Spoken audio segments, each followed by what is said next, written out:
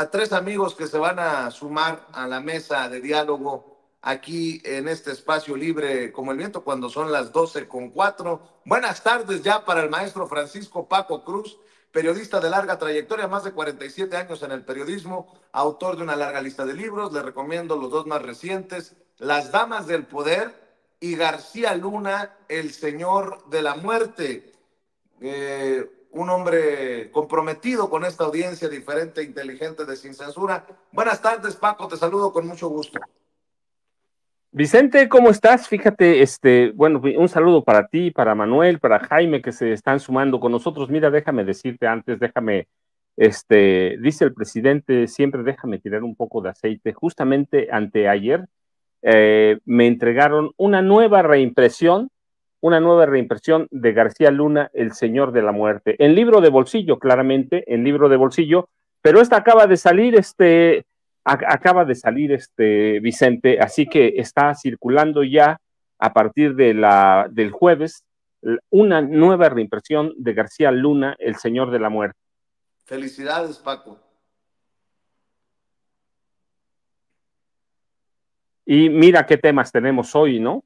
¿Qué temas tenemos hoy? Así que un saludo para ti y esperemos a Manuel y a Jaime. Aquí estamos, Vicente, para cerrar prácticamente eh, es la última mañanera, va a, ser, va a ser el lunes, va a ser el lunes, pero hay muchas cosas que, que agradecerle a López Obrador más allá de lo que deja pendiente, más allá de lo que no se hizo, los errores que lo, señalamos aquí. Este, la verdad es que deja un país diferente. Eh, mira, lo dijimos aquí nosotros en su momento, pero lo dijo Riva Palacio, ¿no? Ayer o anteayer lo dijo el presidente más poderoso. Aquí lo dijimos hace más de un año, Vicente es el primer presidente después de Miguel de la Madrid que tiene en control todo el proceso de sucesión presidencial.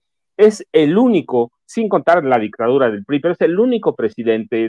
dijimos en su momento, Salinas tuvo que asesinar a Colosio, a, José Francisco Ruiz Macié, Cedillo tuvo que ceder el gobierno después de una administración desastrosa, tuvo que entregarlo al PAN, este, Vicente Fox se lo quería entregar a Fox, se lo entregó, tuvo que entregárselo a Felipe Calderón. Felipe Calderón tuvo que traicionó a Josefina Vázquez Mota eh, y este y se lo tuvo que entregar o regresar al PRI.